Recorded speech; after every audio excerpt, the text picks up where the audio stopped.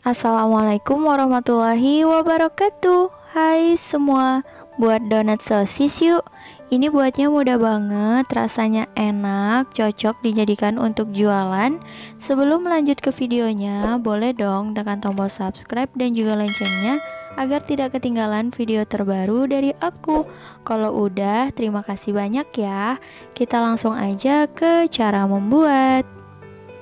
Pertama, siapkan wadah, lalu masukkan tepung terigu protein tinggi sebanyak 150 gram atau 15 sendok makan. Kalau untuk ukuran sendok, tidak tinggi menggunung dan juga tidak terlalu datar, tetapi cembung atau sedang seperti ini. Untuk satu sendoknya setara 10 gram. Dan di sini aku pakai merek Cakra Kembar. Kemudian aku mix dengan tepung terigu protein sedang sebanyak 100 gram atau 10 sendok makan. Kalau misal mau menggunakan tepung terigu protein tinggi semua juga boleh, jadi disesuaikan aja. Lalu masukkan susu bubuk sebanyak 10 gram atau 1 sendok makan, ragi 3 gram atau 1 sendok teh, dan gula sebanyak 30 gram atau 2 sendok makan dan ini diaduk hingga semua bahan tercampur rata.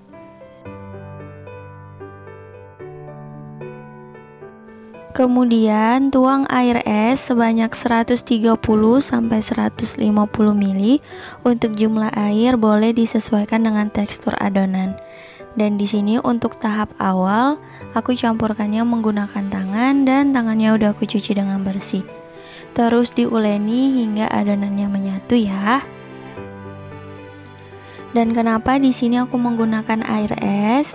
Itu karena nanti akan aku lanjut uleni menggunakan mixer. Nah, kalau misal menggunakan mixer itu, kalau kelamaan itu akan menghantarkan panas. Untuk menetralkan adonan, jadi di sini aku menggunakan air es. Dan untuk airnya di sini aku tuang semua, jadi aku pakai sebanyak 150 ml. Setelah adonannya menyatu seperti ini, selanjutnya tambahkan satu butir kuning telur. Di sini aku pakai ukuran sedang dan lanjut diuleni hingga tercampur rata.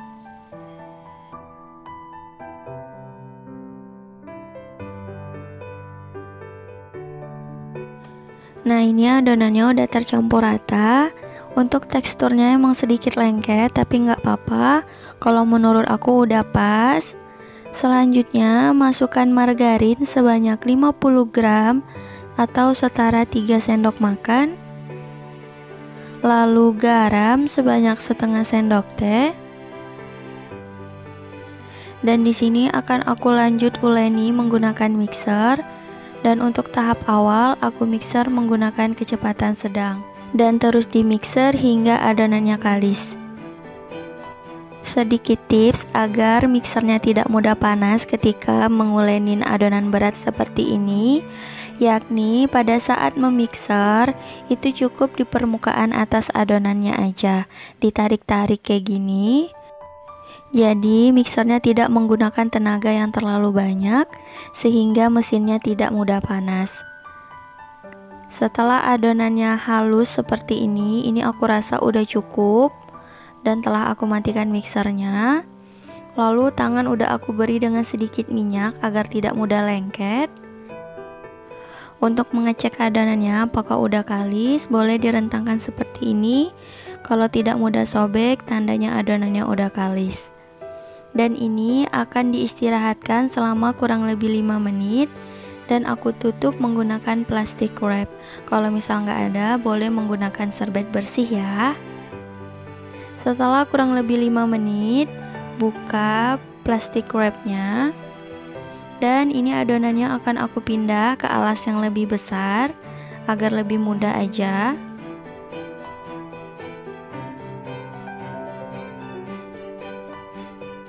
Selanjutnya akan aku bagi adonannya dan di sini masing-masing bagian seberat 50 gram atau boleh disesuaikan dengan kebutuhan aja ya. Lakukan hal yang sama hingga selesai.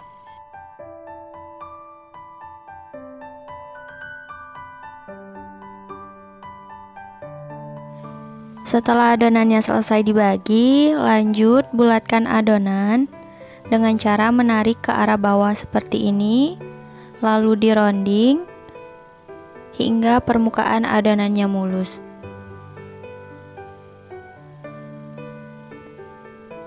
Nah, seperti ini ya. Lakukan hal yang sama hingga semua adonan selesai dibulatkan.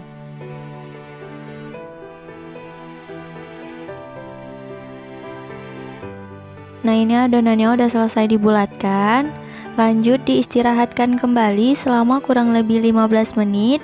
Dan di sini aku tutup menggunakan serbet bersih. Setelah kurang lebih 15 menit buka penutup serbet Lalu di sini telah aku siapkan tepung terigu secukupnya Lalu tepung panir Dan satu butir putih telur. Nah ini akan aku jadikan untuk balurannya Selanjutnya, ambil satu adonan, lalu balur di atas tepung terigu. Tujuan aku membaluri dengan tepung terigu di sini agar bentuknya ini bisa bulat dan juga tidak lengket adonannya ketika dipegang.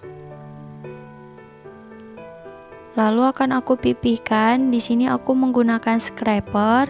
Kalau misal mau dipipihkan menggunakan tangan juga boleh, jadi disesuaikan aja ya. Jika dirasa bentuknya udah bulat dan pipih, selanjutnya akan aku celupkan ke putih telur. Lalu diangkat dan kita baluri di atas tepung panir. Dan ini dibolak-balik hingga semua permukaan donat terbaluri ya. Lakukan hal yang sama hingga semua adonan selesai.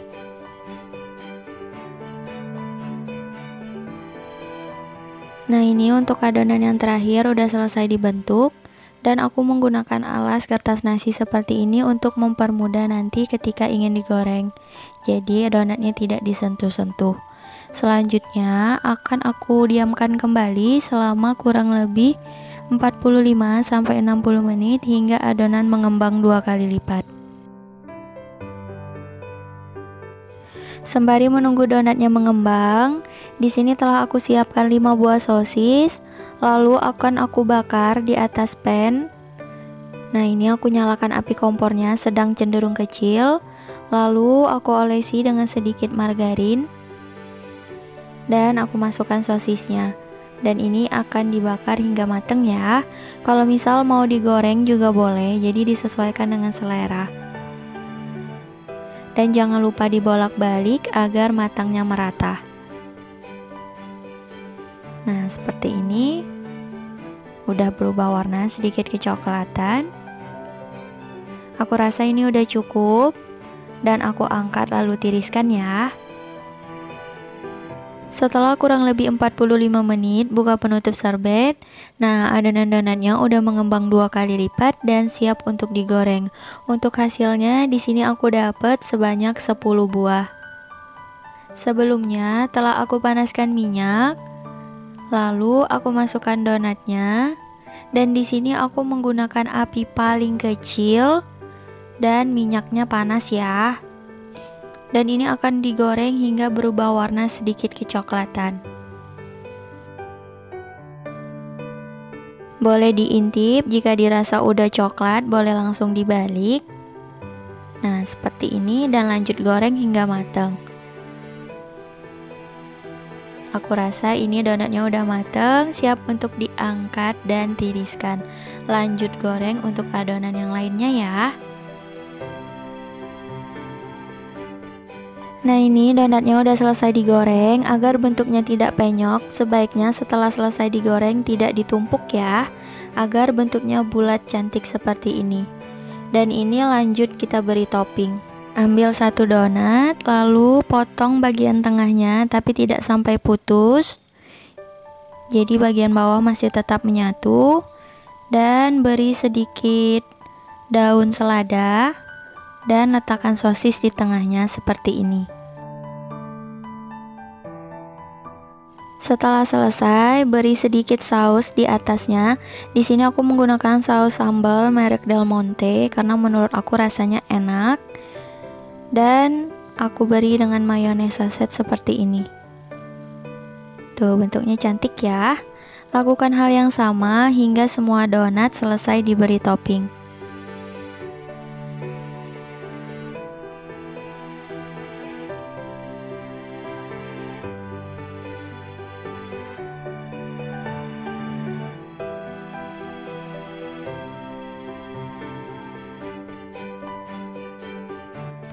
Nah ini dia donat sosisnya udah mateng.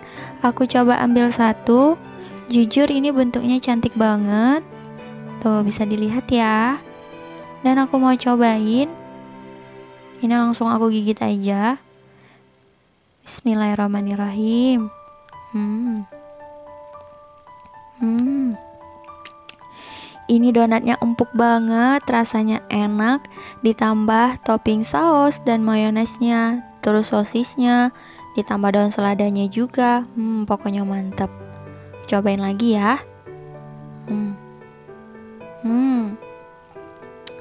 Ini enak banget. Cocok dijadikan untuk ide jualan. Insya Allah pasti bakalan laris. Dan ini aku perlihatkan teksturnya. Tuh lembut dan juga serat-seratnya halus. Mantap ya. Jangan lupa cobain di rumah. Cukup sekian untuk video kali ini. Terima kasih banyak yang telah menonton. Semoga video aku bermanfaat. Jangan lupa like, komen, dan share juga. Terima kasih. Wassalamualaikum warahmatullahi wabarakatuh. Bye bye.